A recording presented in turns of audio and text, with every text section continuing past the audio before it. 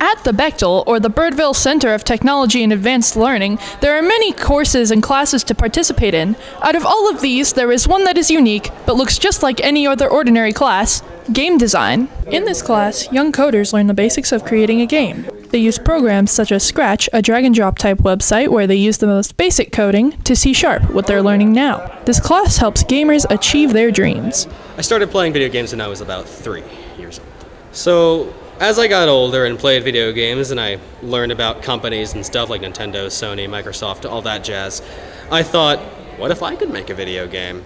I guess my goal is, I guess I just want to be known for something.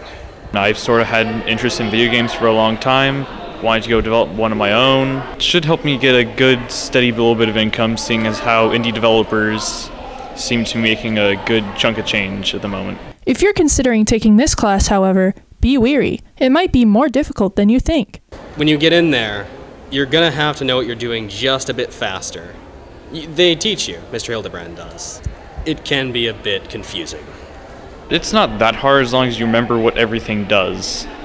Even so, game design could unlock your true potential. For BISD TV, I'm Nicole Besta.